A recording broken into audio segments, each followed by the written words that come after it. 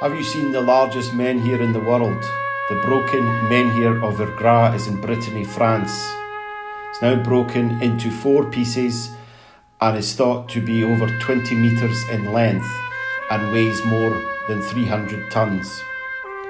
It's thought to have been erected around 4700 BC. It's absolutely massive. How were the ancients able to transport and erect this massive block of stone thousands of years ago?